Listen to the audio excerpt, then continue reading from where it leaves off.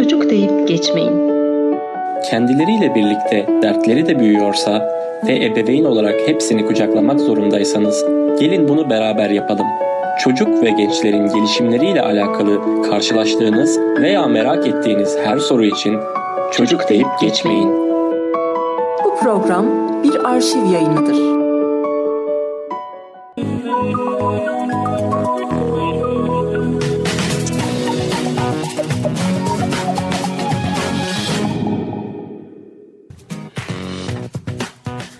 Efendim merhabalar. İstanbul stüdyolarında Çocuk Deyip Geçmeyin programındayız. Pazar gününün bu saatlerinde, sabahın ilk saatlerinde. Efendim sizlerle birlikteyiz.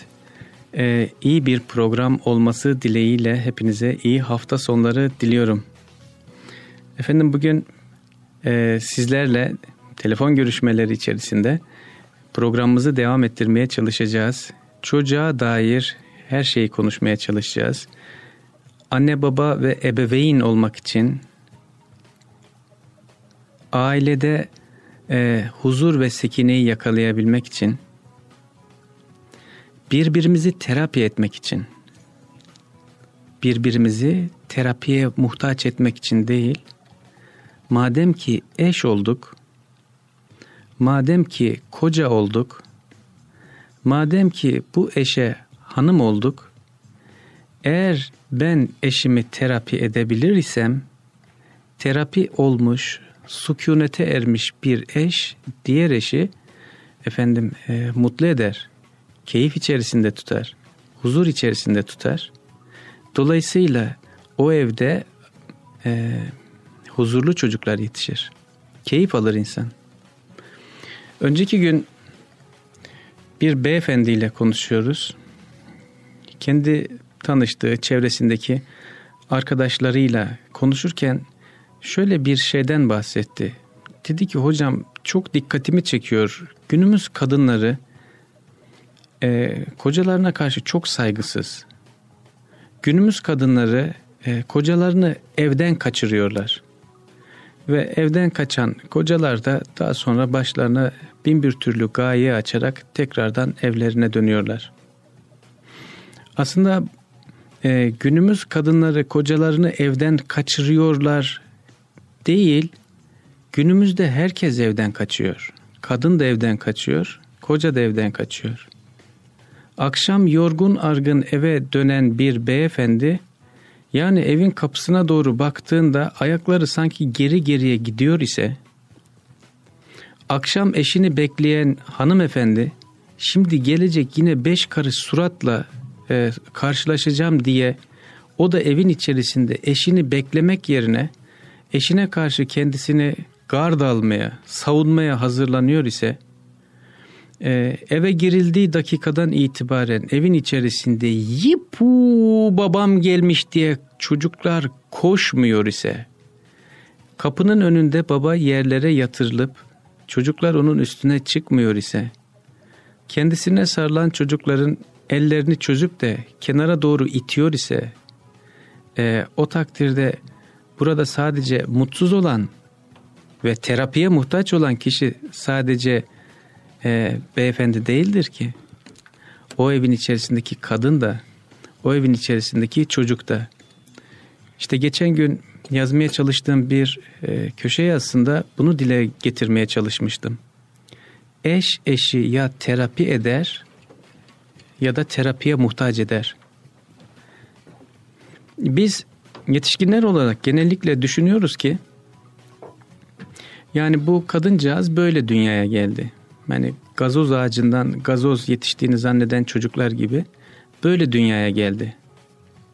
Yani onun bir çocukluk dönemi olduğunu, onun o çocukluk dönemi içerisinde belki zarara uğratılmış olduğunu, ya belki babasıyla çok da arasının olmadığını, annesiyle bir türlü etkileşime giremediğini, içerisinde aslında ağlayan bir kız çocuğunun hala var olduğunu ve o içindeki ağlayan kız çocuğunu göstermemek için aslında şu anda erkek gibi görünmeye çalıştığını, aslında sana saldırıyor ya, sana kızıyor ya, yahut da sana ters davranıyor ya, Aslında çok defa bu davranışların özünde e, kişinin kendini koruma isteği vardır. Kadınlar evet günümüzde sert. Kadınlar evet günümüzde o annelik kıvamını, kadınlık kıvamını evet yitirmiş gibi görünüyor. Ama dönüp baktığınızda aslında kadın bu kıvamı yitirmiş değil. Kendisini korumak için e, bir savunmaya geçmiş durumda. Kendi fıtratını yaşamak yerine, annelik duygularını doyasıya yaşamak yerine çok defa eşinden korumaya çalışıyor kendisini. Eşinin söyleyeceği bir sözden korumaya çalışıyor kendisini. Eşinin kendisine yetersizlik hissi vermeye vermesinden korumaya çalışıyor kendisini. Eşinin habire eksiklikleri ortaya çıkartmasından, eşinin habire kendi ailesinden, kendi anne babasının eksikliklerini deşelemesinden, eşinin habire kendi üstünde hissettirmeden bir bunaltı oluşturmasından aslında kendini korurken e, kendisinde şu anda oluşan karakter bir de bakıyorsunuz ki kadınlık kıvamını kaybetmiş, annelik kıvamını kaybetmiş e, bir erkek gibi evin içerisinde dolaşmaya başlıyor. E şimdi yürüyüşüne baksana evin içerisinde. E o, o kadını o, o vaziyete getiren sensin şu anda. Halbuki bir kadını Allah öyle yaratmıyor ki. Daha bir hanımefendi yaratıyor. Evin içerisinde yürürken sükunet içerisinde yürüyebilecek bir kıvam da yaratıyor ki erkeğin de aslında e, baktığı zaman keyif aldığı bir çay ikram ettiği zaman çayı içmekten daha ziyade onun o çay ikram edişiyle keyiflendiği bir hali yaşamıyorsak eğer evin içerisinde e, o kadına aslında kendini bulmasına e, biz yardımcı olmuyoruz demektir. Aslında kaybettiğimiz şey çocuk yetiştirmede kaybettiğimiz şey önce kendi kıvamımızı kaybettik. Bir beyefendiyle nasıl konuşulacağını e, şaşırdık. Evlilik bir arkadaşlıktır doğru. Bir aile arkadaşlığıdır. Bir ahiret arkadaşlığıdır doğru. Ama çok lavabali olduk. Yani birbirimizle şakalar yaparken, birbirimizle gülüşürken, oynaşırken e, çok kaba saba söz söyledik. Çok kalp kırdık. Ve tüm bu kalp kırmaların içerisinde e, kıvamımızı kaybettik. Kıvamımızı kaybettik. Dikkat eder misiniz? Eşinizle e, ne kadar konuşuyorsunuz derinlere girerek, derin mevzulara girerek, kendinizi anlatarak içinizi ne kadar döküyorsunuz? Sana bir şey söyleyeyim mi? Bugün kendimi bir garip hissediyorum. Bir yalnız, bir kimsesiz. E, kendimi sanki akıntıya kaptırmış bir yaprak gibi hissediyorum. Dünya bir garip göründü gözüme bugün. Dediğiniz sırada eşiniz eğer diyorsa ya sen ne gene başladın yine bir şeyler anlatmaya diyorsa daha fazla konuşacak şey yok ki. Öyle olduğu zaman işte evin içerisindeki diyaloglar 3-5 e, cümleyi 3-5 kalıbı geçmiyor. Eğer bir çocuğunuz varsa kaydedin. Allah rızası için evinizde kaydedin. Çocuğunuz varsa evin içerisinde dersini yaptın mı? Okula nasıl gittin? Nasıl oldu? Öğretmenin ne dedi? Ödevin var mı? Yarına yaptın mı? Yetiştirdin mi? Odanı topladın mı? Şunu yaptın mı? Bunu yaptın mı? Çocuğa hep buyurucu bir anneliğin ötesinde, babalığın ötesinde e, kızım diye e, konuştuğun dakika kaç dakika Allah rızası için bir dön bir kendine bak babasın. Annesin. Bu kız çocuğu senden öğrenecek senden. Yarın onun kalbine bir heyecan düşecek. Onun kalbine yarın bir e, sıcaklık düşecek. Allah öyle yarattı çünkü. Neden? Evliliğe hazırlanacak. Engel olamazsın ki. Bu oğlan çocuğunun kalbine yarın bir heyecan düşecek. Gelip seninle konuşabilecek. Anne içimde bir garip şey var. Anlam veremediğim bir şey var. Ee, ağlayasım geliyor anne. Bu nasıl bir duygudur bilmiyorum anneciğim.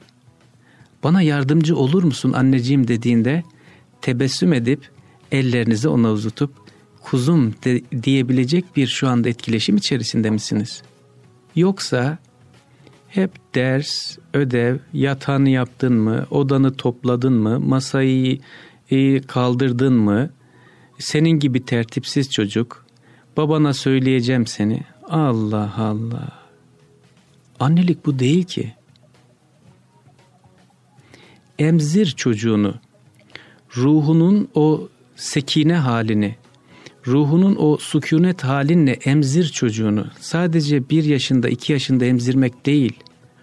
Aç kendini, bak dokuz yaşında da olsa, on yaşında da olsa kolunu açsan kanadının içerisine girmek için kenarda bekleyen o çocuk senin çocuğun. Gözüne dön bir bak, açsan şu anda kanatlarını, sığınacak olan cücük senin çocuğun. Sığınacak olan çocuk senin çocuğun. Bak sen bu yaştasın.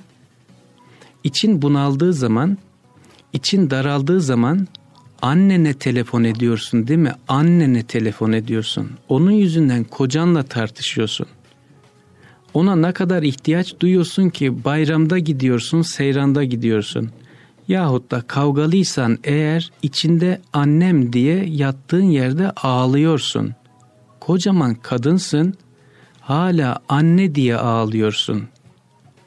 E karşındaki çocuğun annesi sen değil misin? Zaman ilerliyor, vakit hızlı akıyor, acelemiz var, çocuğu doyurmamız gerekli, ruhuna sükunet üflememiz gerekli, şırınga ile onun içerisine şeker, şerbet akıtmamız gerekli. Eğer böyle olur ise bir çocuk anca öylesi bir ailede kendisi olabilmenin keyfini çıkartır. Maalesef içimize nereden bulaşmış bu virüs bilemiyorum. Erkek dedim mi Osmanlı erkeği olacak. İşte çok yanaşmayacak çocuğa. Efendim çok yüz vermeyecek. Bebe bellik işleriyle de çok uğraşmayacak. Yani bu işleri biz İçişleri Bakanı'na teslim ettik. Biz Dışişleri Bakanı olarak hanıma bıraktık biz bu işleri. Maşallah o da baya bir yapıyor. Öğretmeniyle de gidiyor konuşuyor. Halbuki bir baba çocuğuyla ruhsal iletişim içerisinde olan bir baba çocuğuna karakter aktarır. İrade aktarır. Karakter nedir? Bir işi sürekli ve iradi olarak yapabilme becerisine karakter denilir. Bir işi, bir davranışı sürekli ve iradi olarak yapabilme becerisine karakter denilir. E bu çocuk ders çalışmıyor. E çalışmaz. İradesi yok bu çocuğun. Yani nasıl hocam? Şöyle bu çocuğun babasıyla ruhsal bir doyumsaması yok. Ya yakıcı bir baba bu. Kaldırdığı zaman, sinirlendiği zaman kitabı defteri fırlatır birdenbire. İrade inşası görevi verilen bu baba balyoz gibi yıkıverir iradesini çocuğun. E, bizim çocuk sevgili hocam namaz kılmıyor, e, bir kılıyor bir kılmıyor. Problem o değil ki. Bak bir davranışı sürekli yapabilme babayla etkileşime bağlı. Babanın kendisini çocuklarına verebilmesine bağlı. Babanın çocuğuyla vakit geçirebilmesine bağlı. Hocam biz geçiriyoruz işte vakit oturuyoruz. Ya ondan bahsetmiyorum. Senin konuştuğun laf 3-5 cümleyle hala şeyi aşmadı, eşiği aşmadı, babalık eşiğini aşmadı. Babalık eşiğinden sonrasından bahsediyoruz biz. Yani dersin ötesinde işte gidiyoruz çocuklarla birlikte. E canın sıkılıyor gidiyorsun da sanki bir iş olsun diye yapıyorsun. Biz hafta sonları çocuklarla birlikte gez, geziyoruz. E geziyorsun geziyorsun ama şu anda yani bıraksalar geri kaçacak gibisin yani.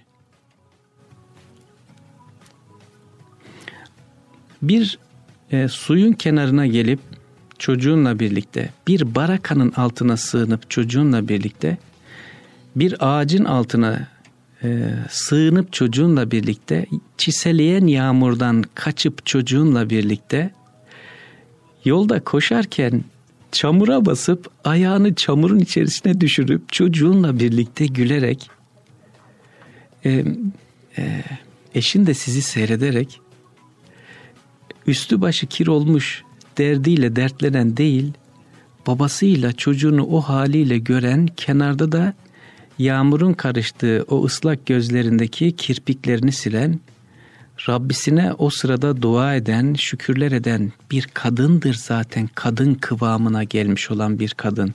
Annelik kıvamına gelmiş olan. Ama o kıvamı hazırlayan kim? Bak çocuğuyla beraber yağmurda koşan baba. Üstü çamur, üstü ıslaklık olmasına rağmen oğluyla onu bir kartal gibi, onu bir şahin gibi yuvadan uçurmak üzere olan oğluyla birlikte koşan baba ne yaptı bak? Kenarda anneyi ağlatıyor şu anda. Rabbisine şükürler ettiriyor şu anda. Eştir eşi terapi eden, eştir eşi terapiye muhtaç eden. Evlerin içerisinde biz çocukları değil, önce biz kendi kıvamımızı kaybettik. Kendi saygınlığımızı kaybettik kendimize önce saygı duymamız, kendimize önce bir çeki düzen vermemiz. Şimdi çok üzülüyorum. Bazen ailelerle görüştüğümde. Şimdi bir tek hafta sonum var hocam. E, o yüzden biraz rahat giyinmek istiyorum. İşte birazcık rahat olmak istiyorum. E, ya bir hafta sonun var eşinle geçireceğin. Rahat olmaktaki kastın eğer öyle üstü başı pejmurde olmaksa o rahatlık demek değil ki. O rahatsız edicilik demektir. Karşı taraftaki kişiye sen bu kadarsın demektir. Ama kalktığıyla birlikte bir tıraş oluyorsa beyefendi, eğer saçını başını yapıyorsa bir beyefendi, ve üstüne hafifçe kokular sürüyor ve kokudan hoşlanıyorsa bir beyefendi ve öylece eşine e, günaydın hayırlı sabahlar diyorsa bir beyefendi bak bu kadın ağlıyor ya kapının arkasında niye ağlıyor? E, böylesi bir eş için ağlıyor Rabbine teşekkür ediyor. Ben acaba yetebilecek miyim diye böylesi bir eşe ben ne yaptım da layıkım diye. E şimdi sen kalkmışsın Allah rızası için bir bak. Saç baş dağınık, üst baş perişan. Evet rahatım, evimin içerisinde rahat olayım. Doğru söylüyorsun. Rahat ol ama rahat olurken rahatsız etme. Öyle bir uzanmışsın ki bak koltuğun üstüne sonra çocuktan saygı bekliyorsun.''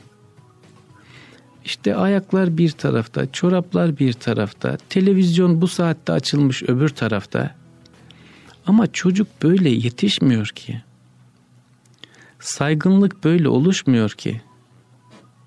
Evin içerisinde bir efendim patırtı gütürtü, sadece yüzeysel bir ilişki,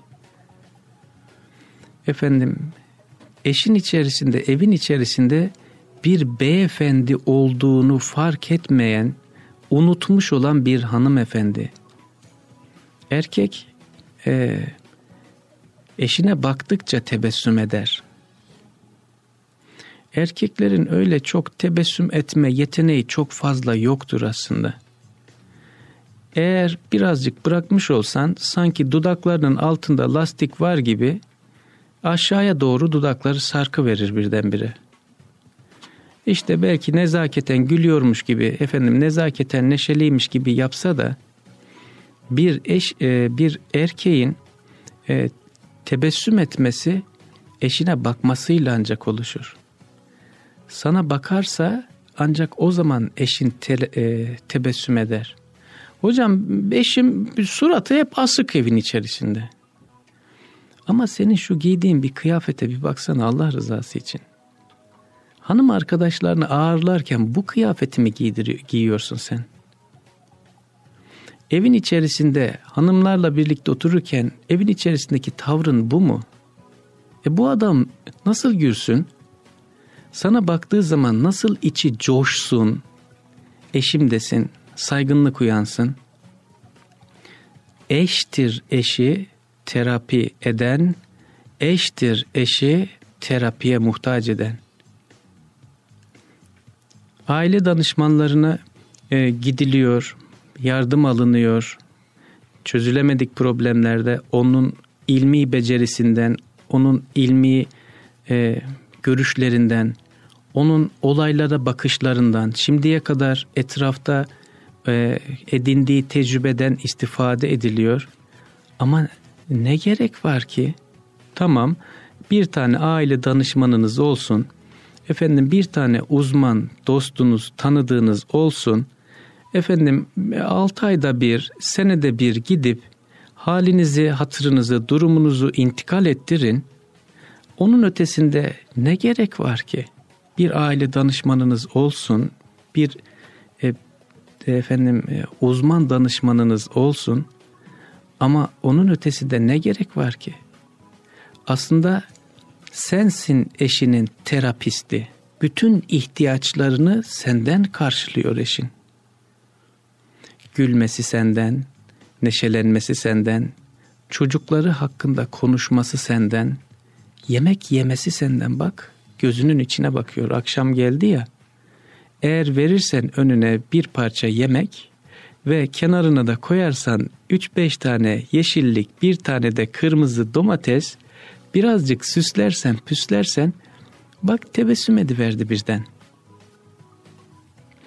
Eştir eşi terapi eden, eştir eşi terapiye muhtaç eden.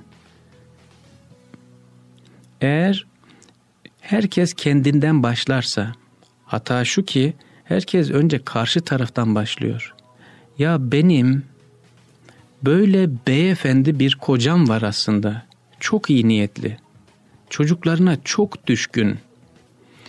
Böyle heybetli meybetli duruyor ama gözünde hemen yaş damlayacak gibi, kalbi her an çatlayacak gibi aslında içerisinde bir çocuk var. O çocuğa hitap etsem ağlayıp gelip bana sığınacak gibi bir eşim var diyorsun ya. O zaman önce o eşe layık bir eş olacağım ben diye işin insan kendini bir kere bir motive etmesi lazım. Eşler günümüzde eşini terbiye etmek için kendindeki imkanları kısıyor, seni adam edeceğim diye onu bir demir kafesin içerisine hapsediyor. Ama arslanı demir kafese koyduğunda hırçınlaşır, hırçınlaşır, kükrer, bağırır, çağırır. Sen küstün ya eşine, konuşmuyorsun ya. Adam deliye dönüyor şu anda ama haber vermiyor sana. O da gidiyor suratı asık oturuyor ya. Canı burnunda şu anda. Neden? Duygularına karşılık bulacağı kişi şu anda onu hapsetti, küstü. Ne için?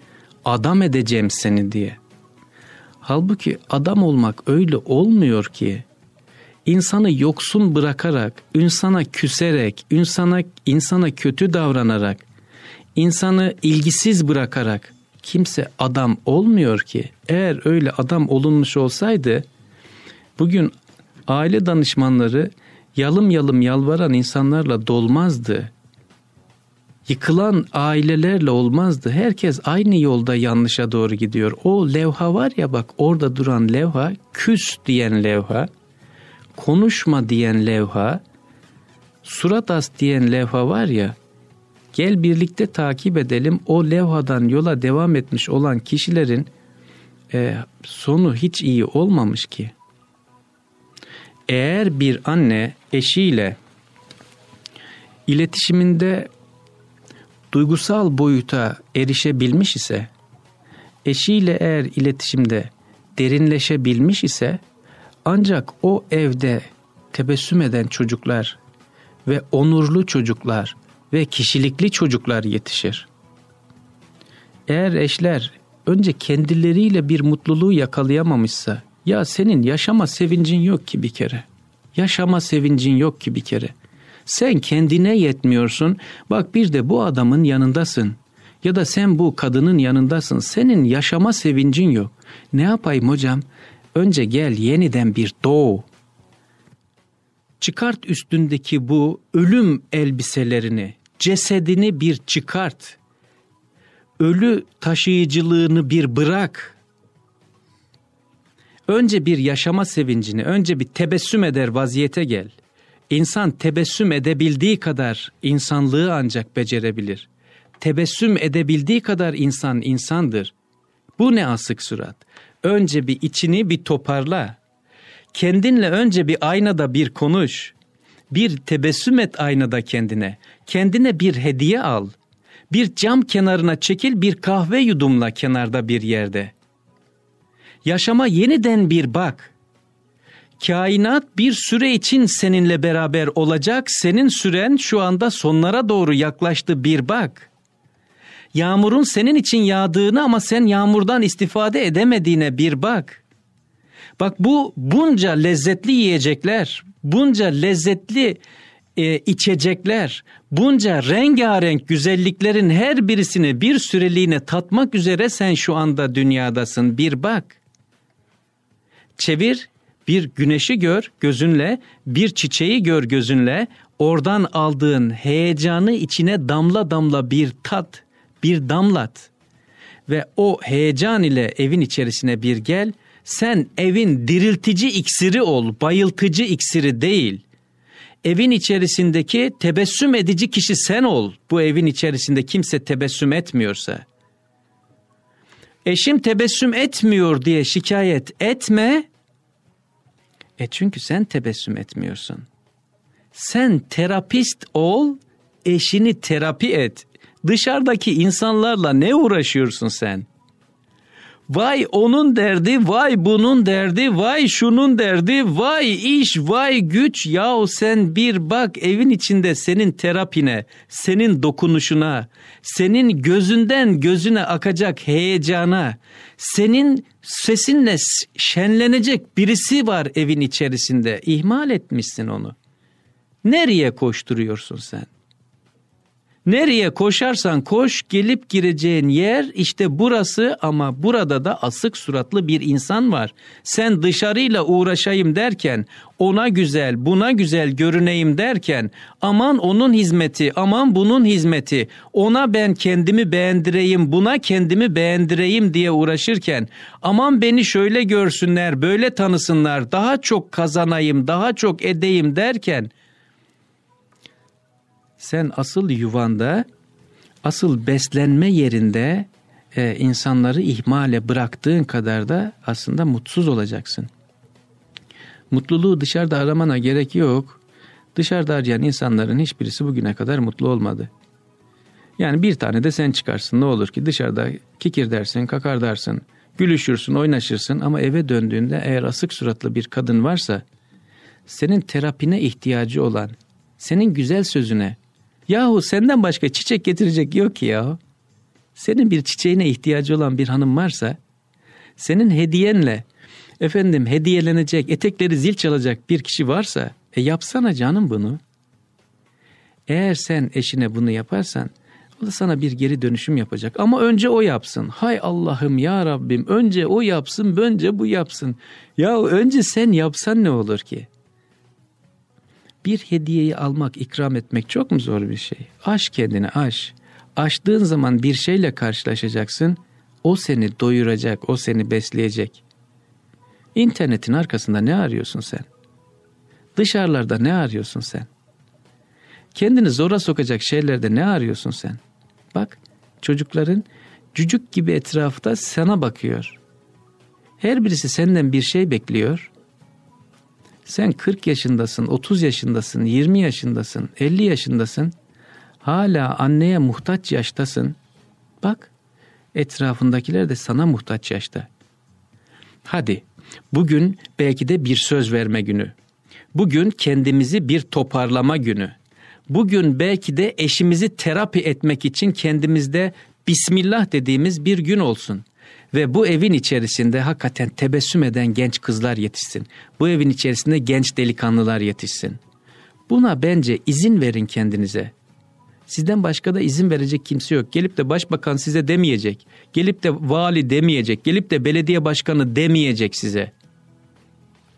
Tebessüm etmeyi insan kendisine söyler. Hadi tebessüm et derse ve kendisine izin verirse insan tebessüm eder. Hadi tebessüm edelim.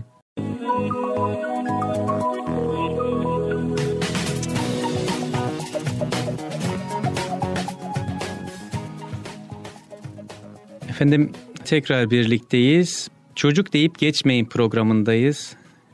Ve canlı yayınımızda dinleyicilerimizle e, sorularını alacağım. Ama soruları almadan önce ben bir selam sözüm var idi Eray'a.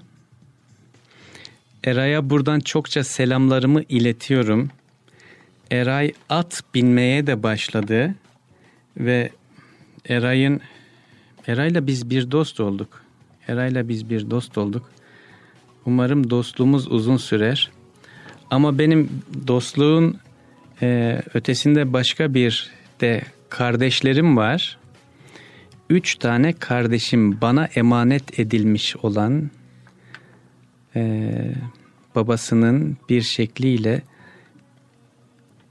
iki ay öncesinde annesine bak ben bir radyoda ben bir kişiyle tanıştım hanım. İstersen bu kişiyle biz çocuklarımızı yetiştirmeye devam edelim diye sanki bir vasiyet bırakır gibi eşini radyoda benimle tanıştıran ve ondan sonra Anadolu pedagojisiyle sekine e, eğitimiyle, sükunetle e, kendi kültürel değerleriyle aşırıya kaçmadan, dengeyi bozmadan çocuğa onurlu bir yaşam sunulduğunda aslında o çocuğun onurlu olacağını gören bir vaziyetle yetişen üç tane kardeşimden bahsetmek istiyorum ve bilmiyorum dinliyorlar mı onlar da beni. Babaları yok, sanki tanıştırıp annelerini ve çocuklarını benimle o kendi dinlenme mekanına çekilmiş olan ve babalı yetişen birçok çocukla karşılaştırdığım zaman gözlerimle e, hayret ettiğim e, bu üç e, gayretli üçlüye buradan selam söylemek istiyorum.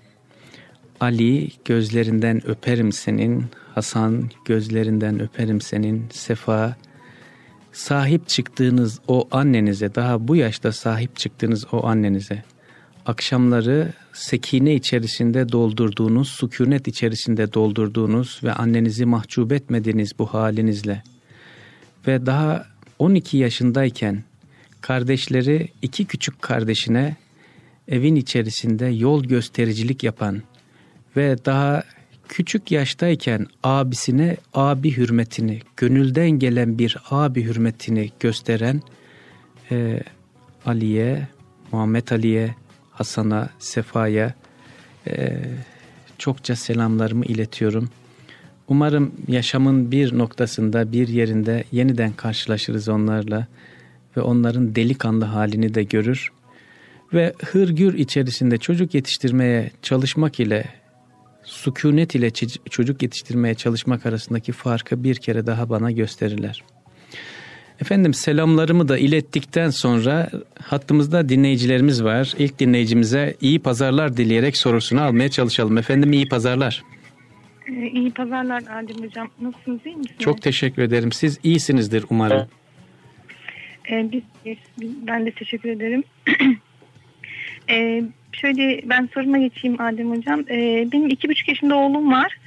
Ee, şimdi biz e, uyku saatine geçerken çok zor, zorlanıyoruz. Yani böyle bunu işte bir 5-6 aydır bunda zorlanıyoruz. Özellikle sütten keserken bu başladı. Eskiden hep emerek uyuduğu için e, uyuyordu yani çok zorlanmıyorduk. Ama ondan sonra biz hep hikaye okuyarak uyutmaya ben alıştırdım. Çünkü başka türlü uyutamıyordum.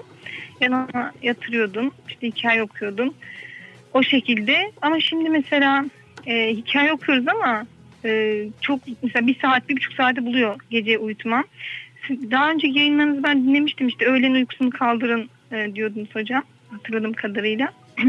Onu da kaldırıyoruz ama gene zorlanıyoruz yani e, 11, 11 buçuk, 12 eskiden 12 1'de uyuyordu mesela yaz günü olmasına rağmen. E, ve sonra ben de şeyimi kaybediyorum.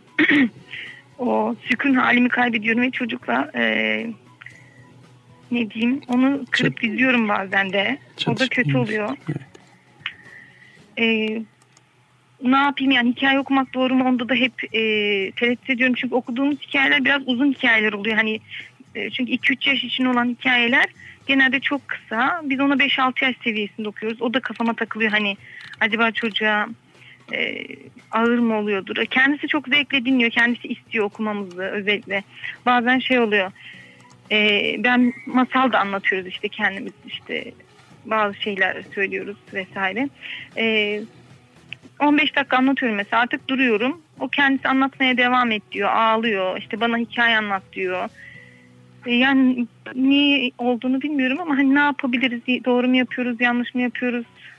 Şimdi Böyle şöyle bir şeyimiz var. Şöyle söyleyeyim. Aslında söyleyeceğimi söylemeden önce bir başka bir şey söyleyeyim. Şimdi ben uzunca süredir ne kadar zamandır aşağı yukarı bir 3 aydır Twitter kullanıyorum. Twitter e, kısa mesajla aslında kişi kendi bilgisini, tecrübesini, kendi yaşamını paylaşan aslında güzel bir etkileşim aracı. E, seviyeli bir etkileşim aracı. Öyle öbür sosyal e, medya gibi e, laçkalaşmış, yapış yapış olmuş bir etkileşim aracı değil. E, seviyeli bir etkileşim aracı. Ben son 3 aydır falan aşağı yukarı fark ettim bunun ve bunun e, kazanımlarını fark ettim ve onu kullanmaya çalışıyorum. Eğer Twitter'ınız var ise benim önceki gönderdiğim mesajlara bir bakarsanız ben orada ana başlıklar halinde söylemeye çalışmıştım. E, bir çocuk akşamları neden yatmaz? Bu sadece sizin sorununuz değil aslında. Birçok anne babanın sorunlarından bir, bir tanesi. Yani siz tek başınıza değilsiniz. Ben birkaç tane maddeler söylemeye çalışayım. Eğer bunları yerine getirirseniz o zaman göreceksiniz ki çok da öyle büyük bir problem içerisinde değilsiniz. Şimdi bir çocuğun erken yatabilmesi için yani vaktinde yatabilmesi için önce vaktinde kalkmış olması lazım. Yani çocuğun vaktinde kalkmış olmasının şöyle de değerlendirebilirsiniz. Bir çocuğun kalkış saati aşağı yukarı güneşin yani havanın aydınlandığı saattir. Yani eğer şu anda 7'de aydınlanıyorsa hava 7'dir aslında bir çocuğun kalkış saati veya 7.30'tur. Bilemediniz 8'e doğru geçmeye başlayınca artık çocuk çocuğun cesedi çürümeye başlar yatağın içerisinde. Terden efendim e, o ritim e, biyolojik ritmin e, yeniden yatalak haldeyken kalbin e, sanki e, vücudu beslemeye çalışmasından dolayı. Dolayısıyla bir çocuğun önce yatma saatinden önce kalkma saati ayarlanması lazım. Eğer çocuk saat 10'da kalkıyor ise, 11'de kalkıyor ise e, böylesi bir çocuğu saat 9'da yatırmak hem anne için işkence olur hem de çocuk için işkence olur. Bununla birlikte şunu da söyleyeyim. Aslında e, her bir yeni çocuk anneyi doğal yaşama, biyolojik dengeye ve ruhsal dengeye sokucu e, bir yardımcılık da e, üstlenir. Şimdi bakıyorum ben anneye. Anne kendisi saat 12'de 1'de yatıyor. İşte ondan sonra sabah kalkması zor oluyor. Saat 9'u 10'u buluyor. E ondan sonra kahvaltı yaptım falan deyinceye kadar çocuğun günün başladığı saat saat 11-12'yi buluyor. Yazık olur yani günah olur. Hukuk geçer, hak geçer çocuğun yetiştirilmesinde. Hem fizyolojik hem de zihinsel gelişimde çok geri oluyorlar böylesi çocuklar. Bizim takip edebildiğimiz kadarıyla eğer çocuğun o ilk akşam dediğimiz akşam yani saat 10'da 10 civarında eğer geciktirilmiş ise çocuğun yatma saatini çünkü beyin bir kendini bıraktığı, hormonların salgılandığı ve o hormonal dengenin oluştuğu uykunun da belli bir kıvama geldiği, uykuda rüyanın başladığı ve rüyanın bitirildiği bir e, döneme giriyor çocuk gece e, o dinlenme sırasında. Eğer onu yaşatmıyorsak biz, kendimiz de yaşamıyorsak hırçın bir vaziyete dönüşürüz. Dolayısıyla size ilk söyleyeceğim şey önce kalkma saatinizi bir bir hafta efendim süre içerisinde 7'ye denk getirmeye çalışın. 7.30'a denk getirmeye ve kendi yaşam ritminizi önce bir değiştirin. E, burada bir problem var mı? Yok hocam e, bunu siz de daha önce de dinlemiştim. Hani bunu söyle, söylemiştiniz. 7'de kalktığı Bir- halde 7 Hı e, hı. özür diliyorum kestim. 7'de kalkmıyordu hocam. En geç 8. Yani bazen 7'de kalktığı da oluyor da hani hep 7 değil. 8, e, 8 buçuk, 8 gibi kalkıyor. işte onu Ee, biraz geriye alın. Biraz geriye alın. Yani Biraz geriye alın. şöyle şöyle bir şey oluyor hocam. Şimdi diyelim ki 12'de de yatsa e, 8'de kalkıyor. Yani o düzenini hiç bozmuyor kendisi. Yani 8 belki 8 buçuk oluyor. Bazen 7 buçuk. Ama e, bu sefer de şey yapıyor. E, öğlen uyumuyor. Ben hani belki biraz öğleyin uyusun 12 gibi belki daha rahatlar diye şey yapıyorum. İkindi gibi hep uyumak istiyor böyle. Bazen halının üstünde, bazen oyun İşte oynarken. o, o tehlikeli. O tehlikeli. Ben de uyutmuyorum hocam. E, uyutmayınca işte biraz zorlanıyor, ağlıyor vesaire. Şimdi Akşamı bakın şöyle bekliyorum. söyleyeyim. 8'de kalktı diyelim. E, siz kahvaltıydı vesaireydi diyene kadar saat 9'u onu buluyor. Aslında ondan sonra kahvaltıdan e, sonra aslında yavaş yavaş şey başlıyor çocukta bir e, işte hareketlenme başlar önce. Ondan sonra da bir çöküş başlar. Şimdi ama siz bir saat daha geriye alabilirseniz çocuğun kalkma saatini bu yaşta olduğu için onu söylüyorum yalnız. Biraz ileriki Tamam. yaşlar için birazcık daha ileri olabilir. Belki 8 o, o yaşlar için uygun ama bu yaşta birazcık daha geriye alabilirseniz ikindiye kalan uykusu öğlene doğru gelir bu sefer. Yani siz bir tarafı indirirken öbür tarafta yine öğlene doğru gelmiş olur. Öğlen uykusundaysa birlikte yatıyorsunuzdur umarım. Mutlaka birlikte yatın. Akşam buçuk da yaşında olmasına rağmen birlikte yatalım mı hocam? tabii tabii yani buradaki şey maksat onu şöyle onu uyutmak için yatmayın. Ona Tabii. sekine vermek için yatın sekine. Eğer Anladım. sizi Yani yanında olmamda mahsur yok yani. Gece Hayır. yatmıyoruz ama Ha- tamam. Ya, hayır hayır olur mu öyle şey? Gündüz yatın yatın. Hiçbir mahsuru olmaz. Gündüz yanına uzanın.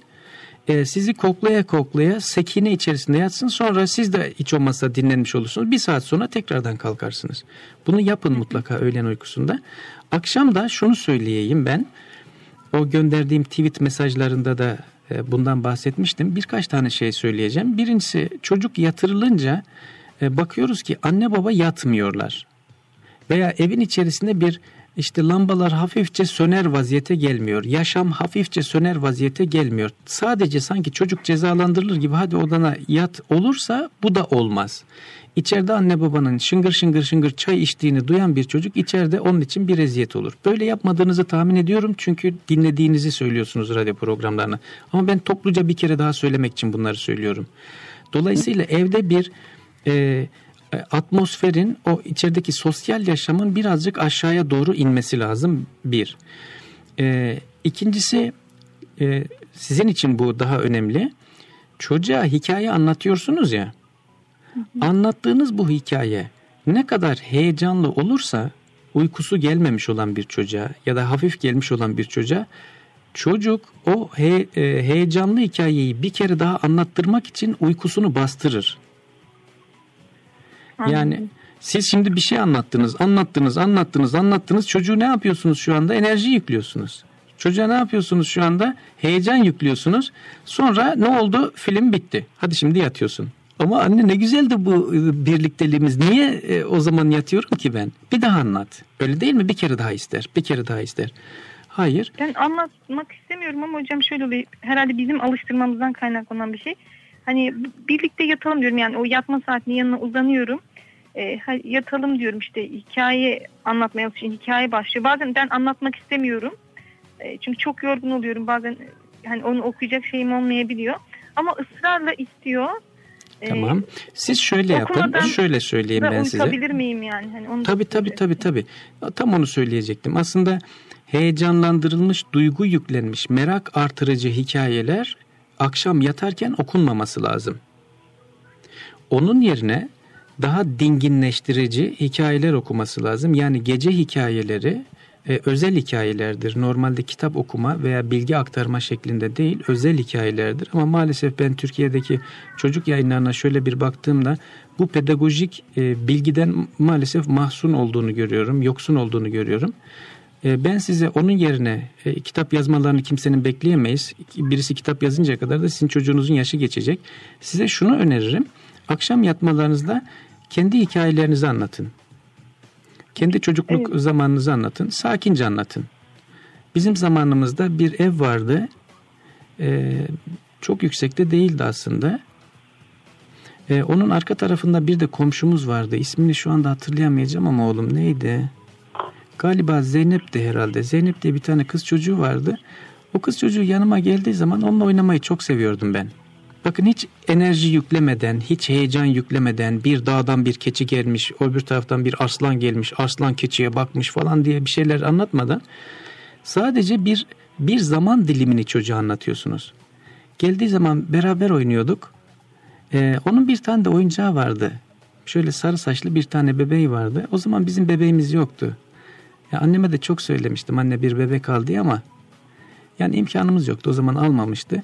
Ama bir keresinde de şöyle bir şey gördüm. Ee, bizim komşumuzun e, bebek yaptığı bir şey vardı. Bebek yapmasını gördüm oradan. Sonra ben bebek yapmaya başladım. Sonra kendi yaptığım bebeklerle oynadım. Allah Allah o günler böyle aklıma geldikçe böyle e, sana da baktıkça hep o günler aklıma geliyor. Hadi istersen yatalım oğlum. Bu kadar. Bu kadar. Yani çocuğa böylesi bir şey anlatmak Anladım. onlarca hikaye anlatmaktan hem çok daha verimli olur hem çok daha doyurucu olur hem de ertesi gün size şunu söyleyebilir. Anne biz bir bez bebek yapalım mı gel diyebilir. Sizin yaşamınızda var olan şeyleri kendisine almak için. Bir şey daha hocam. söyleyeyim, son bir şey daha söyleyeyim. Tüm bunların Bu içerisinde... Söylediğinizle ilgili bir şey anlatabilir miyim? Şimdi Hı hı. masal, sizin dediğiniz gibi hani masal dediğimde oydu hani geçmişteki şeyleri anlatıyorum. Yani ya da bir şeyler anlatıyorduk. Ama şöyle yapıyor hocam. Dinliyor. Bir süre sonra mesela ben onu anlatırken diyelim ki 15-20 dakika yarım saat maalesef uyuyup kaldığım oluyor. O kalkıyor mesela ışığı açmak istiyor. Odasına gidiyor. Odasının ışığını kendisi açıyor. Bir şekilde oyuncaklarıyla oynuyor. Mesela dün akşam 11'e 20 kala uyutmaya başladım hocam. Uyutamadım. Ben uyuyup kaldım. O gitti, oynadı vesaire. Ben 12-10 kalaya kadar e, geri kalktım maalesef. Hmm, tamam. Sonra biz aramızda şey yaptık. O yine uyumak istemiyor. Işıkları kapatmak istemiyor. Kendisi açıyor. Tamam. da Üçüncü bir etmiyor. şeyden bahsedeceğim işte. Tam da ondan bahsedeceğim. Tüm bunlara, tüm bu pedagojik, estağfurullah, tüm bu pedagojik bilgilere rağmen bazı çocuklarda var ki, şimdi sizin çocuğunuz öyledir demiyorum ama bazı çocuklarda var ki içinde yaşama sevinci doludur. Cıvıl cıvıldır. Yani her bir şey, her bir oynadığı, her bir yaptığı bir şey ona keyif veriyordur. Böylelikle siz onu ne kadar uyutmaya çalışsanız da kendiniz uyursunuz ama o dünyadan o dünyanın heyecan verici, e, içine heyecan verici yapısından bir türlü kopmak istemez. Uykuya dalmak çünkü onları bırakmak anlamına geleceğinden dolayı direnir uykuya karşı. Bu da çocuğun fıtratından kaynaklanan bir e, uykusuzluk halidir. Böylesi bir durumda ise e, yani çünkü ihtiyacı da var. Çocuğun içerisindeki enerji uyutmuyor aslında. Yaşama sevinci olan çocuk uyumaz yani. E, böylesi bir fıtratı da var olduğunu düşünüyorsanız çocuğunuzun o zaman akşamları yatmadan önce uykuyu getirebilecek işte bir papatya çayıdır, bir başka e, bitkisel bir şeydir. Onunla takviye etmeniz, anasondur. Onunla takviye etmenizi tavsiye ederim. İçindeki heyecan e, bir şekliyle aslında e, sekineye, sükunete dönüşsün. Tamam mı? Tamam. Tamam. hocam bu tavsiye edeceğiniz hikaye kitap var mı yani? Biz böyle okuyoruz onların bir sakıncası var mıdır çocuğa? Yani hani kendimiz iyisini seç yani kendimize göre iyi seçmeye çalışıyoruz ama hani hepsinde böyle bazen bizim de kafamıza takılan şeyler olabiliyor yani tam net bulduğumuz Ya bir şey şimdi olmuyor. şöyle bir şey söyleyeyim. İnanın e, ben kendi çocuklarım için de arıyorum yani. E, işte önümüzdeki haftalarda da TÜYAP olacak galiba. Özellikle TÜYAP'a gidiyorum. Çocuk kitapları yazılmış olan şeylere gidiyorum. Bakıyorum. Evet heyecanla bir takım kitaplar yazılmış. Heyecanla bir takım şeyler. E bakıyorsunuz ya doğallığını kaybetmiş ya çocuğun yaş grubuna uygun değil ya da başka bir e, problemler var. E, yani o temel pedagojik veriden yoksun olarak yazılmış olan e, kitaplar. Size şunları şunları tavsiye edebilirim diye şu anda bir şey söylemem yani doğru yabancı değil ama. Kaynak da olabilir hocam. Mesela evet ben yani. birazcık aslında yabancı Çeviri- yazılmış olan kitaplara şöyle çevirilerine bir baktığımda hani içerisinde ideolojik, dini bir takım misyoner işaretler vesaireler olmaması açısından dikkat ettikten sonra bir baktığım zaman onların daha e, çocuk yaş grubuna hitap ettiklerini görüyorum. Bazı yazarlar var. Evet isimleri de şu anda zihnimde olan bazı yazarlar var. Ama birazcık bu sizin o standlarda ya TÜYAP'a gittiğinizde ya da yayın evine gittiğinizde oturup saatlerinizde alarak kendiniz edinseniz bu tecrübeyi çok iyi olur ben. Sayfaları karıştıra karıştıra şey yapın. Ben inanın bir mağazaya gittiğimde kitap evine gittiğimde yere oturuyorum. O kitap çocuk kitaplarının olduğu yere oturuyorum. 2 saat, 3 saat boyunca tek tek tek tek kitapları şey yapıyorum. Çünkü çocuğuma vereceğim bilgi benim için önemli. E, bence böylesi yapmak hem de çocuklarınızla bir güzelce bir vakit geçirmiş olursunuz. Tamam mı? Peki Tamam. hocam bir şey e, soru değil e, sadece çok hızlı geçeceğim bunu. Ben şimdi çocuğa e, bir taraftan hani iki buçuk üç buçuk yaş İngilizce öğretimi için hani dil eğitimi için iyiymiş ya.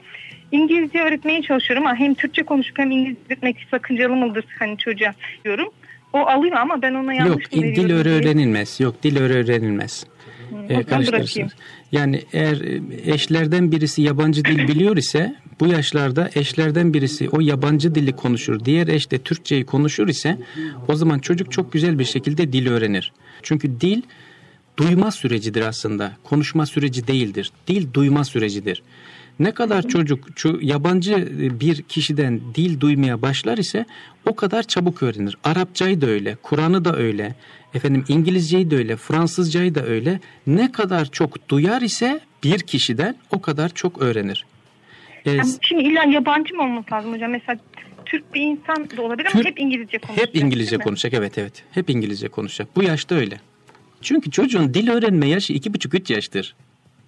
Üç yaşı geçirdikten sonra çocuğun dil öğrenmesi çok zor olur. Ya anne babaysak eğer bakın dil çok önemli. Matematik matematik bunların her birisi zamanla öğrenilecek şey ama dil eğer bir dönemde öğrenilmez ise ondan sonraki dönemde çok zorluk çeker. E bu çocuk akademisyen olacak ise bu çocuk yarın eğer eğer ülkeler çapında bir şeyler konuşacak ise sesi bir gittiği yere hitap edecek ise bu çocuğun işte bu yaş çok önemli. Bu yaşta öğrenir. Çocuğuna ruhuna bir elbise gibi giydirir.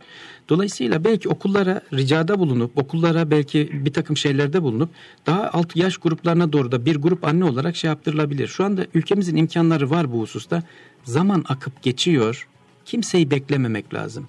E, e, çok önemli bir şeyden bahsediyorsunuz. Dil öğrenme şu şu anda sizin en önemli efendim şeyiniz olsun. e, göreviniz olsun. Tamam mı? Hey hocam bizim Bu kadar. İngilizce öğretmeni o Hı hı. direkt onunla İngilizce konuşsa biz de Türkçe konuşsa bunda bir mahsur var mı? Hiçbir mahsur yok.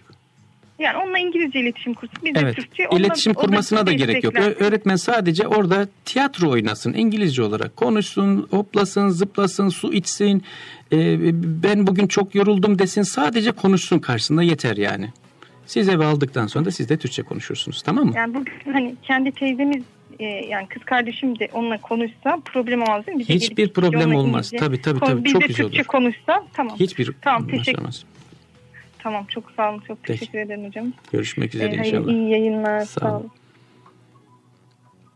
Ben çok mutlu oluyorum. Yani eğer burada ziller olmuş olsa eteklerime ziller takıp dışarılarda koşturasım geliyor. Neden? Ee, çocuğunun yaş dönemini bilen yani duyarlılık dönemini bilen ve bu duyarlılık döneminin karşılığında çocuğuna ne sunması gerekti olduğunun heyecanıyla, telaşıyla çocuğuna yaklaşan anneleri gördükçe, babaları gördükçe eğer e, elimde ziller olmuş olsa çık- e, sokaklara çıkacağım ziller çalacağım. Çünkü 0-6 yaş çok önemli. 6 yaşına kadar çocuklarda 11 adet duyarlılık oluşuyor. 11 tane duyarlılık oluşuyor. En yoğun 6 yıl. Diğer yıllara baktığınızda yavaş yavaş birer tane, bir yıl içerisinde belki bir tane, efendim 3 yıl içerisinde belki bir tane oluşuyor ama 6 yaşına kadar 11 tane duyarlılık oluşuyor.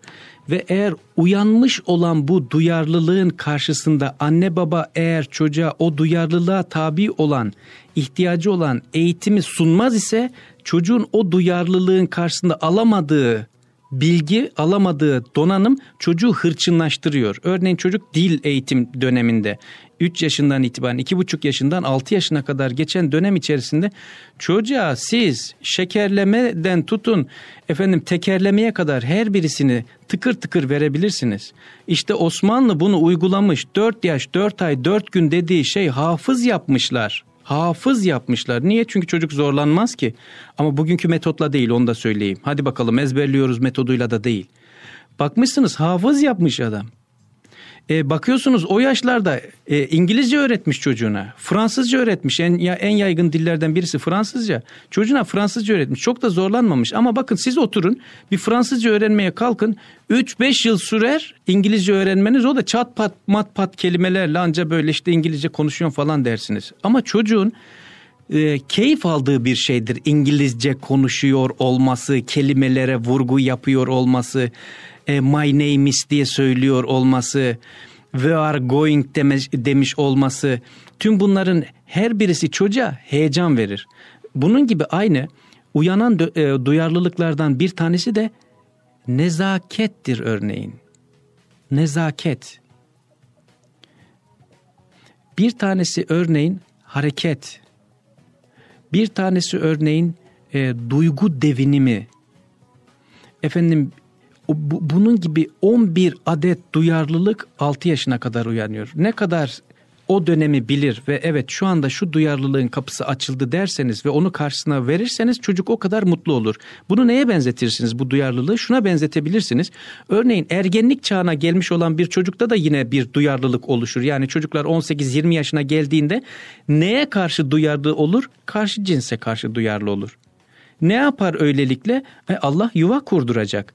İçine böyle bir heyecan veriyor, böyle bir efendim his veriyor bu bir histir. His veriyor. Böylelikle aslında yaşam sürenleşmiş oluyor, devam etmiş oluyor. Aynı onun gibi 6 yaşına kadar çocuklarda da 11 adet his alanı uyanır ki kazanımları annenin gözüne bakarak hadi anne sun bana yaşamın bu kolaylıklarını. Eğer biz bu dönemde hala kaba saba kaldırıyoruz çocukları o tarafa atıyoruz bu tarafa atıyoruz yazdık çiçekleri böyle koparta koparta e, bir e, gül bahçesinde yürüyoruz demektir. E, bu değerli hanımefendinin bende uyandırdığı hissiyatlar da bunlar. Efendim hattımızda dinleyicilerimiz var galiba. E, kendileriyle merhabalaşalım. İyi pazarlar efendim. Hayırlı günler hocam. Nasılsınız? Çok teşekkür ederim. Siz nasılsınız? Teşekkür ederiz. İki yılda size ulaşmaya çalışıyoruz. Kesinlikle ulaşamıyoruz bugüne nasipmiş. Çok heyecanlıyım kusura bakmayın. Bir anı var o anda ulaşılıyor. İnşallah da o anda en önemli sorunun sorulacağı andır. Buyurun. Ay inşallah hocam inşallah da yani inşallah tamamen e, doğru düzgün sorularımı sorabilirim inşallah. Ya ben e, 13 yaşında oğlum var benim. E, söylever artık ama sürekli e, sorunlarla e, şey yapıyoruz sorunlar sürekli sorunlar. Ee, ve sorunlarımız da e, küçüklüğünden başladı. Küçüklüğünden yani doğmadan önce zaten biz diyorduk ki hani e, bir şey istediği zaman kesinlikle hani yapmayalım. Ondan sonra yani hep istediğini yapmayalım düşüncesi vardı bizde. Ama e, o şekilde olmadı. Sonra bayılmaya falan başladı iki yaşlarında falan. O da kan e, şey, kan eksikliğinden dolayıymış. Onun için e, artık her dediğini yapmaya başladık tabii ki de biz ağlatmamak için. E, ve tabii bunu silah olarak kullanmaya başladı hocam. Ve e, daha sonra da işte sürekli her isteğim olsun. Ondan sonra her şeye bağırıp çığırıyor. Ve saygısızlık aşırı şekilde. Ondan sonra okula başladı. Okulda e, dersleri maalesef hiçbir zaman iyi olmadı. Şimdi 7. sınıfa gidiyor. E, hocam işte bu şekilde işte yani nasıl söylesem size e, aşırı şekilde kıskançlık var. E, 4 yaşında kız kardeşi var. Tamam. Kıskançlık tamam. aşırı tamam. şekilde. Tamam. Stop. Stop. Şimdi ben size siz bana şunu anlatıyorsunuz. Hocam e, dışarıda görülen problem bu şekilde oldu. Bu problemin oluşması için e, e, kökte yatan e, sebep neydi? Ondan bahseder misiniz? Bu çocuk böyle dünyaya gelmedi bir kere. Hırçın evet. gelmedi, sinirli gelmedi, ilgisiz gelmedi, alakasız gelmedi. Bu çocuk dünyaya tam donanımlarıyla geldi. E, şimdi şunu söyler misiniz? Mesela çocuğunuzla olan etkileşiminiz nasıldı? Her şey yolunda gidiyor muydu? Ya hamdolsun yani öyle bir fazla bir problemimiz yoktu hamdolsun. Her şeyi tabii ilgileneceğiz diye uğraşıyoruz. Tabii ufak tefek karışmalarımız oluyordu hocam. Yok yok yani yok ben ondan bahsetmiyorum. Yıl... Ben ondan bahsetmiyorum. Ben evet. şundan bahsediyorum. Yani evet ilgileniyorduk, seviyorduk. O bizi seviyordu. Biz onları seviyorduk. Herkes birbirini seviyordu. Hayat ne kadar güzeldi. Birdenbire böyle oldu. Hayır bu böyle bir şey değil. Ben iki yıldır, üç yıldır bu programlarda anlattığım bir şey var. Evet. Annenin çocuğuna sekine vermesinden hep bahsediyorum. Evet. Annenin yavaş ya, olmasından bahsediyorum. Evet. Annenin çocuğuna temas etmesinden bahsediyorum. Annenin çocuğuyla e, birbirini duyabilmesinden bahsediyorum. Özellikle bu erken dönemlerden itibaren oluşacak şeyler. Artı o evin içerisinde e, e, şiddetin olmamasından bahsediyorum. O evin içerisinde saygın bir insan gibi, aziz bir misafir gibi görülmesinden bahsediyorum. Tüm bunların her birisi var mıydı evde? Ya hocam e, çok hiperaktifti. Aşırı şekilde hiperaktifti. Bir dakika, bir biz de, dakika. Var mıydı? E, tam olarak yoktu hocam. İşte olmayınca olmayınca karşılığı bu oluyor. Ama ben e, vakit bitmiştir. Artık alarm çaldı ve biraz sonra hava saldırısı başlayacak diye bir şey de söylemek istemiyorum. Şu andan itibaren de başlayabilirsiniz. Şu andan itibaren. Hani ben radyoda yeniden güven duygusundan bahsediyorum. Önceki programlar içerisinde bahsetmiştim. Sessizlik saatinden bahsediyorum. Evinizin içerisinde bir saat sessizlik saati yapın. Sekine saati. Siz Ee, Bir eşinizle... onu anlatayım hocam size lafınızı kesiyorum da. Biz bu yıl e, yatılı yurda verdik oğlumuzu. Oraya, orada kalıyor. E, sadece hafta sonlarında eve geliyor. Pazar günleri eve geliyor. E, pazartesi günü sabahleyin tekrar okuluna gidince oradan yurduna gidiyor. Şimdi şu- Ama e, evet daha hala sorunlarımız gitmiş değil ve yurdu da kesinlikle istemiyor kalmak istemiyor. E, ve Şimdi kalmadı. size şöyle söyleyeyim. Öncelikle yani yurda göndermeniz iyi olmuş ama önce bir aranızda bir bağ kurun, bağ. Kendinize bir aşık edin çocuğunuzu. Yani ona buyurucu Onu olmakla... nasıl yapacağım hocam? e, Bir türlü yapamıyorum. Beni e, oradakini çok sever gibi yapıyor. Ama iki 13 gün yaşındaysa evde, bakın gün- şöyle söyleyeyim. Kendinizin yönetimini oğlunuza verin. Erkek çocuklar annelerine söz geçirmekten, annelerine bir şeyler yaptırmaktan çok hoşlanırlar. Bir süre sonra ise bu yaptırdıkları şeyden dolayı annelerine tabi olurlar. Çark Evet. ergen çocuklar da biraz tersine döner. Yani bırakın sizi sizin e, onu yönetmeyi bırakın, onun sizi yönetmesine izin verin ve sessizce izin verin yani. Anne karnım acıktı. Tamam kuzum karnını doyurayım. Bu bir süre eğer bunu yapabilirseniz eğer, ona tabi olabilirseniz eğer, onun sizinle bağlaş, e, bağlanmasını sağlayacaksınız. Sizin probleminiz geçmiş dönemde bağlanamamış olan çocuğunuzu şu anda kendinize bağlamak için bir mücadele içerisine girin. Bağlanma olmadan çocuk tabi olmaz. Bağlan... Ama ben bunları yapmaya çalışıyorum hocam ve istediği her şeyi de yapmaya çalışıyorum. O geleceğinde ne seviyorsa onları hazırlıyorum. Ama bu değil ne bakın, benim nereye söylediğim- gitmek istiyorsa. Benim söylediğim Evet. bu değil. Çocuğa iyi davranmaktan bahsetmiyorum ben. Evet. Çocuğa kendimizi bırakmaktan bahsediyorum ben. İyi davranmak, onun yemeklerini yapmak, şunu yapmak, bunu yapmak, o geldiği zaman evin içerisini böyle hareketlendirmek, ona sanki böyle e, bir e, prensmiş gibi muamele yapmak bu değil ki söylediğim şey. Evet. Hayır, kendimizi bir bırakmaktan, e, çocuğa tabi olmaktan bahsediyorum. Ergenler genellikle akıl vermekten hoşlanmazlar. E, pardon, akıl almaktan hoşlanmazlar ergenler. Akıl vermekten hoşlanırlar. Siz onun bu haliyle kendinize bağlamaya çalışın. Halbuki siz daha aranızda bağ oluşturmadan bir de çocuğu e, başka bir yere göndermişsiniz. Ya Orayı hayır, da istemiyor yani. dinlemeye başladığımızdan bu yana zaten e, sürekli ona iyi yaklaşmaya çalışıyorduk. Yani biz sizi iki yıldır dinliyorum ben sizi. E, geçen yıl vermedik. Biraz vermeye çalıştık. Durmadı. Biz de çok ısrar etmedik. Tamam dedik. İlla yeniye gideceğim dedik. Tamam oğlum dedik. E, biz sözünde dur, sözümüzde durduk. Biz bu sene gönderdik artık aldık da. Ondan sonra ama hala bu yıl geldi. Eşiniz Benimle nasıl? Oğlunuza karşı eşiniz nasıl? Ee, o da çok aslında iyi yaklaşıyor oğlumuza. Tabii bazı şeylerde çabuk sinirleniyor ama e, yani İşte bakın noktayı o ama, e, ama dediğiniz şeyler önemli yani. İyi yaklaşıyor ama bazen işte e, şey ama yapabiliyor. çıldırtıyor bazen de hocam. Yani İşte, bir işte onları çözmedikçe bak, onları çözmedikçe yarın çocuğunuz 13 yaşında. 5 sene Evet. sonra 18 yaşına gelecek. Karşı tarafta bir tane kız görecek. Gördüğü kız içerisine heyecan verecek. Artık sizin yüzünüze dönüp bakmaz da. Çünkü siz onu rahatsız eden bir konumda durduğunuz süre içerisinde çocuk kendisine keyif veren birisiyle mi olsun e, kendisini devamlı rahatsız eden birisi. Çıldırtıyor o yüzden patlıyoruz. Sebep ne olursa olsun önce bir kendimizi bir toparlayacağız. Çocuğa Evet. iyi davranmak amacıyla değil bu. Kendimizi e, bir dingin hale getirmemiz lazım. Ben radyoda önceki programlarda şunu söyledim eğer hatırlarsanız. Annenin sesi buyurucu bir ses tonunda olmayacak. Evet. İnce bir ses tonunu kullanmayacak anne.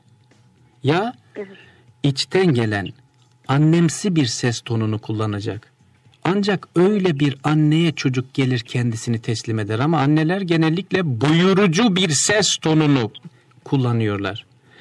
Şimdi hızlı olmayacak anneler. Ancak yavaş olan anneye çocuk gelir kendisini teslim eder. Tüm bunların her birisini bir sağlamanız lazım ki sonra bekleyeceksiniz kuşunuzun yuvaya gelmesini. Yoksa kuşum yuvaya gel diye kuşun peşinde giderseniz kuş kaçar, uçar gider o. Gelmez o. Tamam mı? Evet hocam. Radyo Yani programlarına gibi- birazcık daha dikkat edin. Ee, önceki programlara dikkat edin. Ee, bu sorduğunuz soruların hepsinin cevabı orada var. Tamam mı? Hocam, Yalnız bir şey dinleyicimiz daha var attım. Yalnız Hocam, pardon ama şeyi geçmişiz. ne zamanımızı geçmişiz. Buyurun. Ya ne olursunuz Buyurun. hocam. Bir de bu e, yani silahlı oyunları çok şey yapıyor e, meraklı aşırı şekilde. Biz de hani şiddet içerdiği için hayır oğlum diyoruz ama bunları mutlaka oynamak istiyor ve silah istiyor. Bize kesinlikle hayır diyoruz. Silah istiyor silaha. derken E, bir Oyun- yani e, av, av için silah Hmm. istiyor. ha, o zaman şöyle bir şey daha o zaman sizin dikkat edeceğiniz bir şey. Çocuğunuz eğer av için, beline koymak için kuru sıkı silah vesaire silah istiyorsa çocuğunuzu dışarıda etkileyen birileri var demektir. Yani çocuğunuzun evet, ar- işte ya bu oyunlardan çok şey Yok yok hocam. oyunlardan oyunlardan etkilenerek kimse tutup da beline silah koymak istemez. Ee, Evet. Çocuğunuzun konuştuğu arkadaşlara da dikkat edin. Evet, Mutlaka belinde silah olan birisi vardır. Tamam mı? evet hocam. Tamam. Yayınımız bitti hocam- yalnız. Yalnız 17 geçiyor. Saat 17 dakika ileriye gittik. Ee, Pro- pro- Programımız Programdan sarktı. sonra görüşme şansımız var mı hocam? Programdan sonra bugün mümkün değil çıkacağım çünkü programdan sonra. Tamam bir başka hocam, zaman inşallah. Ben teşekkür ederiz ederim. Hocam. Peki. Oldu hocam hayırlı. Hayırlı günler, hoşçakalın. Çocuk oyun e, silahlı oyunlar oynarken, silahlı bir, bir takım şeyler izlerken e, bu çocuğun e, silahlı oyunlar oynuyor. O zaman dışarıdan gidecek silah alacak diye bir e, korkuya kapılmayın. Çocuğa silah aldıracak şey, beline silah taktıracak olan şey onun arkadaşıdır. Belinde silah olan birisini görmedikçe, elinde silah çeviren birisini görmedikçe, gizli bir yere, bezin içerisine saklanmış silahı birisi kendisine göstermediği sürece çocuk böyle bir şeye cesaret edemez. Böylesi durumda olan, özenti içinde olan bir çocuk varsa o, e, o aile e, oynadığı oyunlara değil arkadaşlarına dikkat etmesi lazım. Bu arada gelen e, mesajlara bakıyorum ben. Twitter'dan gelen mesajlar var. E, ve e-mail ile gelen mesajlar var. Tweet adresimi soruyorlar. Hocam ekleyebilir miyiz acaba sizi diye. Şöyle söyleyeyim. Benim tweet adresim e, Adem alt çizgi Gunes. Adem alt çizgi Gunes ile aratırsanız e, beni orada e, günde birkaç tane ana başlıklar halinde kısa özet e, çocukla ilgili mesajları paylaşmak istiyorum. Paylaşıyorum daha doğrusu. E, birlikte etkileşim içerisine girmiş oluruz. Efendim bugünkü yayınımızı da oldukça uzattık ve e, yayınımızın sonuna geldik. Yarın saat 9.30'da çocuk deyip geçmeyin de olursanız sizlerle paylaşacağım şeyler var. Efendim hoşçakalın. Çocuk yetiştirmek toplumsal bir duyarlılıkla olur. Duyarsız bir toplumda sadece kendi çocuğunu yetiştiren kalabalıkların zararına uğrayacak çocuk yetiştirir. Siz de bu duyarlılığa ortak olun. Eşinize, dostunuza, konu komşunuza, çocuğunuzun öğretmenine çocuk deyip geçmeyin diye seslenin.